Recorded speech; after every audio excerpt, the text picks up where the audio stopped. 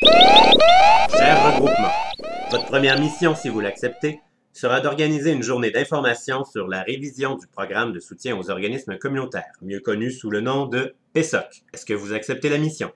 On, l'accepte. Pour ce faire, vous devrez vous préparer rapidement. Vous recevrez probablement les orientations ministérielles à la dernière minute. Dernière minute comme dans... Est-ce qu'on va avoir le temps de consulter convenablement? On n'en a aucune idée.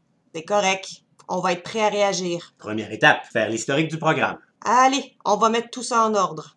1973. Création du programme PESOC. En 40 ans, on passera de 30 groupes subventionnés à plus de 3360. 1991. Les régies régionales de la santé et des services sociaux sont créées. En 1994, elles se voient confier la gestion du PESOC, auparavant géré par le ministère. 2001. Le gouvernement adopte le beau document avec une fleur, la politique de reconnaissance de l'action communautaire. 2003. La centralisation commencée au début des années 2000 se poursuit avec la création des centres de santé et de services sociaux communément appelés C3S. Ceux-ci regroupent les CLSC, les CHSLD et les centres hospitaliers. Bye bye régie.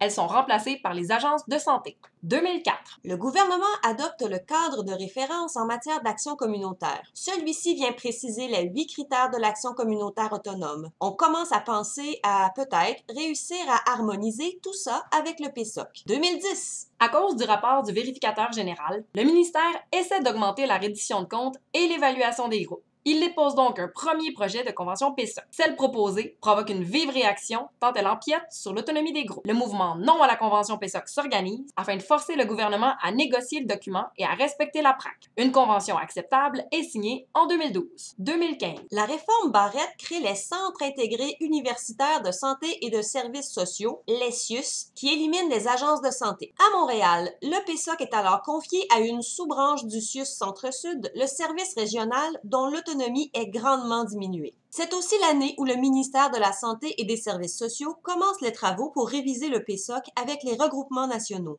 En 2017, face à une impasse, les regroupements nationaux se retirent du comité et attendent de voir le document. En avril 2018, le contenu du document n'est pas dévoilé. On attend toujours. Bon ben, c'est là qu'on est rendu. Sortons tous les documents dont nous avons besoin pour comprendre le PSOC. Toutes! Ça fait 565 pages! On va tout passer à la machine à synthétiser pour que ce soit prêt pour le 12 avril. La politique de reconnaissance de l'action communautaire et son cadre de référence en matière d'action communautaire. La loi sur les services de santé et les services sociaux. La brochure PESOC. Ça, c'est le programme. C'est ça qu'on révise. La convention PESOC. Ça, c'est le contrat. Le cadre régional de partenariat avec le réseau. Ça, c'est le cadre de gestion du PESOC à Montréal. Avec tout ça, on est prêt!